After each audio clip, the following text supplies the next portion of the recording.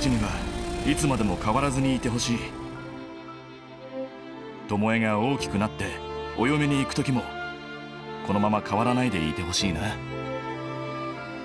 お父さんが早く帰ってきますように。気持ちを込めて書くのよ。そしたら巴の気持ちが通じて願いもきっと叶うから。あのね巴もここでいいよ。嫌だ。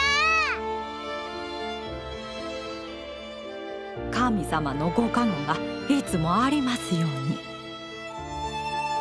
源太郎が早く帰ってきますように。夫をお守りください。戦争が早く終わりますよう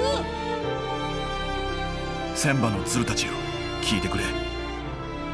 俺は大切な家族を守るためならば日本を守るためならば敵艦に体当たりしても構わない。